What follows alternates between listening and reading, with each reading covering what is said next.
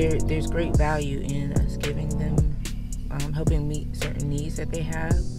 Um, but in addition to that, I want to see people moving off the streets and also being able to sustain that. And so um, I'm just I'm praying that we would get solutions um, and not just temporary um, aids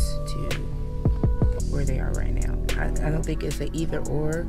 Like some people, they're like, oh, um, you don't need to to give them give our homeless neighbors things because that's just putting a band-aid on the problem.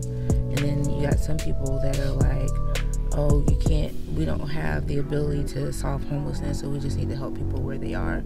And and I don't think it's a either or. I think it's a both and. I think it needs to happen simultaneously.